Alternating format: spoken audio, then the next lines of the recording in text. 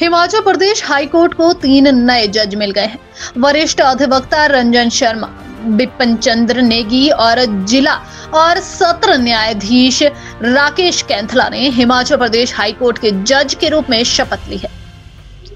राजभवन में आयोजित समारोह में राज्यपाल शिव प्रताप शुक्ल ने इन्हें पद एवं गोपनीयता की शपथ दिलाई। हिमाचल उच्च न्यायालय में चीफ जस्टिस को मिलाकर अब जजों की संख्या 12 हो गई है। जबकि हिमाचल प्रदेश में 17 जजों के पद हैं। शपथ समारोह में मुख्यमंत्री सुखविंदर सिंह सुक्खू व नेता प्रतिपक्ष जयराम ठाकुर भी मौजूद रहे। उज्जवल हिमाचल के लिए शिमला से bureau report. This news is brought you by new Krishna emporium college road Kangra.